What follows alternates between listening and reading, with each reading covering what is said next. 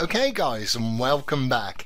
Now from this lecture you'll find a downloadable resource and that is an Excel file called emailautomation.xlsx and in there you're going to find a file that looks pretty much like this and a tab here that says get your code here.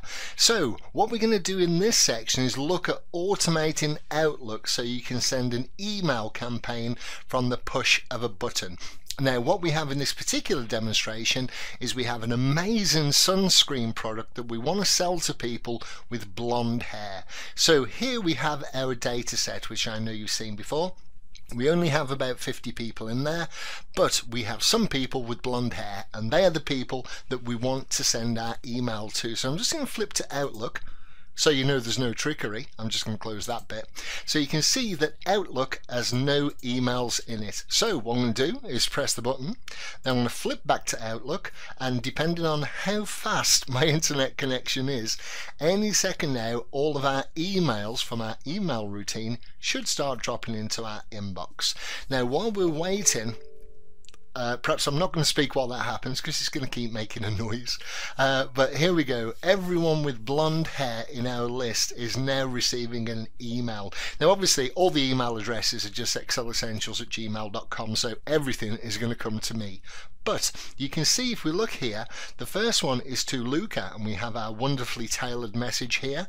The next one is to Leo and the next one is to Molly. So it's actually extracting their first name so we can personalize our email. And there you go, the routine is complete. Now, just in case you ever hear these terms, there are two ways that you can automate Outlook from Excel using VBA you can either use early binding or you can use late binding.